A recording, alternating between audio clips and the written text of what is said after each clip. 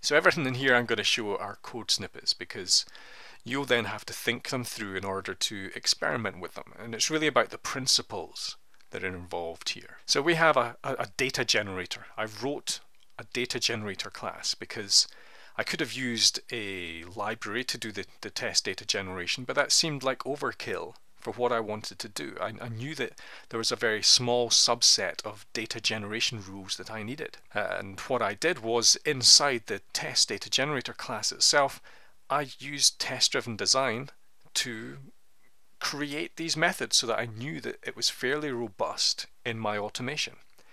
And, and to save time, I just embedded those tests within the actual data generator class itself. That's how I generally start working with test data generation and I can refactor those out into different class if I want to. Doesn't matter. The whole point here is we're trying to get stuff up fast. We know that we can refactor if we have to.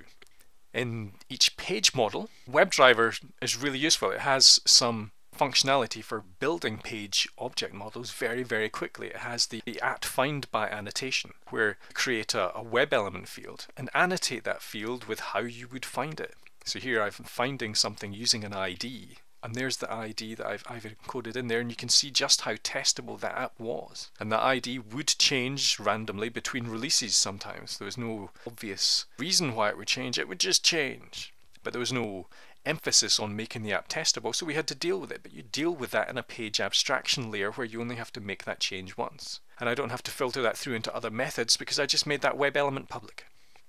So my tests can access that web element directly if I want to.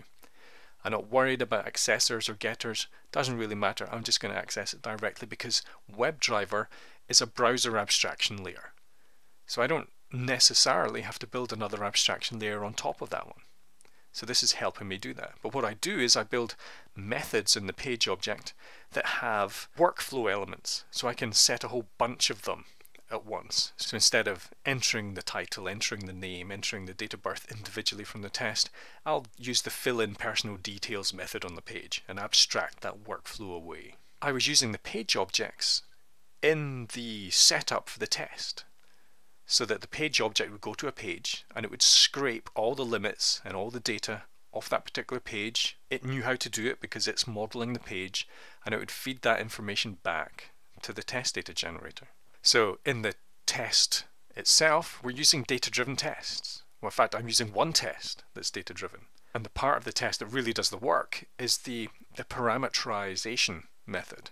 It's the one that goes through the basic workflow, pulls all the drop downs out, works out what the data is, and shuffles it up and randomizes it into a big collection that is then fed through into the test. The test itself, all it does is take the next row of data from the, the random data generator, works out what context it's in. I've got a data provider that, given a big set of data, works out what's appropriate for the next step and feeds that in to the, the page object models to run.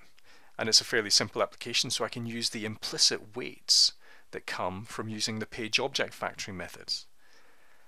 And it, once it's finished an entire loop, of registering successfully, it tries to log into the system to make sure that end-to-end -end communication is working. It's a fairly simple flow, but there are combinations in there, but again they're abstracted away from the test and they're controlled by the data and they're coded into the data provider methods. The basic benefits of this were we were able to get up and running very quickly. It found bugs, it found a lot of bugs. Every run found more bugs, which meant that the system wasn't really ready for manual testing because the amount of re repetition we would have to do and it would find bugs that were supposedly fixed in previous releases so the amount of regression that was in there was massive. It found changes into the workflow and because we were scraping the data off the site, the workflow was controlled by data so if you said you were from a certain country then it would say well now you have to give me this extra bit of information that's mandatory. This would pick it up because we were hitting every individual data item. And then the workflow was failing for that particular data item. So we could find changes that you might well miss if you're doing manual testing because then you have to make more strategic decisions about the data that you use. You have to be very definite about filtering your data because you really don't have time. But with the automation, you can just let it run, fire it off, let it run, and forget about it and check the results. Because every failing test is either a model problem. It's, it's a, we've modeled the app incorrectly, or the, the application has changed in such a way that our model has to change, or it's an actual bug. And when all the tests pass, then it's good enough for manual testing. Then it's good enough for us to explore all the error combinations around this application. And this saved a lot of time on manual testing. Consider that we'd had three testers working on this application for four days. That's 12 man days.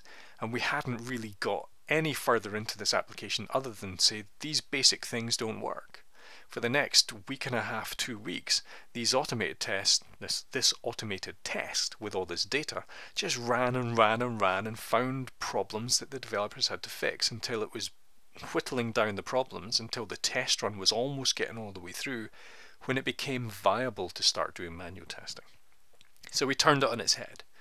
Instead of doing automated testing to cover regression elements, we were using it to make sure that the application was actually ready in the first place. So the automation really came first before the manual testing. And the types of bugs were found were the odd combination errors that you didn't expect because theoretically a lot of this all this stuff is really in the same equivalence class and you wouldn't really pick and choose these different things because there was no reason to but the reasons were the bugs that had been embedded in the back that you can't model, that you wouldn't figure out, that you'd only find by accident. But we found them because we were throwing so much data through this. We found mismatches between the front end and the back end in terms of the validation rules, in terms of the lengths of the fields that were accepted, because we were randomly generating text at the maximum limits you, that were perfectly viable for the formats that were in place, but not necessarily the back end business rules and different combinations that were quite strange and broken workflows. And we found these bugs because that's what we modeled. You only really find the bugs that your models encompass. And you have to be aware of that. When you're automating, you're automating a very small set of models, so you're only going to find a subset of bugs. But if they're the appropriate bugs that are going to impact your testing for manual testing, this is great. Just model it, automate it, find those bugs. There's a whole bunch that you won't find, so then you throw the manual testers at it to find those different classes of bugs that haven't formed part of your automated model that may not even be cost effective to model in an automated way. So the basic lessons from this that you take away if you want to be a macho automator, if you want to do automation the way that MacGyver would do it, if you want to do automation the way the expendables would do it, the basic principles are automate until it's ready. Not wait until the system is ready and done all the testing and then automate it. Just do it first, do it in parallel, do it with abstraction layers. Combinatorial filtering is not a mandatory first step. Don't assume that lots of data means you have to do some sort of combinatorial reduction. Work out how long it's going to take to just to do all of it. Find out what figure out what all of it means. Here all of it meant we're going to run through every individual data element and the biggest data element is going to control how many tests we've got. So if I've got 250 countries, I'm going to cover each one of those, and that's how many, ultimately, how many data lines I'm going to have. I'm just going to hit each country once. But because I only have 10 different customer classes, I'm going to hit those 10 customer classes 25 times over this set with random data. We're going to hit a lot of combinations. The application's going to change. You, you have to accept that. No one's going to write down what's changed. But the application can tell you under certain circumstances if it's a web app. So figure out how to how to let it tell you what it wants. And basically my rule is if the application accepts it then it's valid data. So if I scrape it off your site and I feed it back in and it fails, that's a valid thing to do my page object models, I was knocking them out quickly, so I didn't add accessors and getters and a whole bunch of things. I didn't make the web elements private. I just made it public. I just went in there. We just hammered it through. I used different abstractions on the page object model to help me simplify the, the tests. But we can refactor later. I don't have to do everything right now.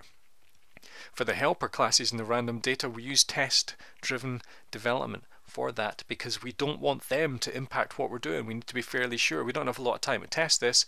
TDD is a great way to knock out simple things really quickly in part of your test framework.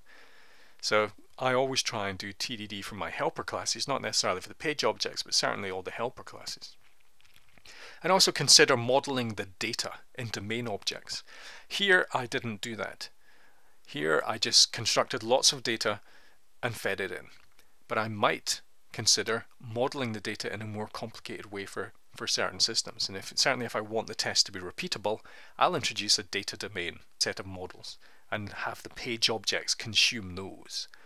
So I'll create a user object and feed that into the page objects rather than the individual fields. So that's essentially what we did. It worked. If you want more information on any of the stuff that I've written, you can go to eviltester.com. I've written stuff on compendiumdev.co.uk. That's my kind of my back history of the software testing.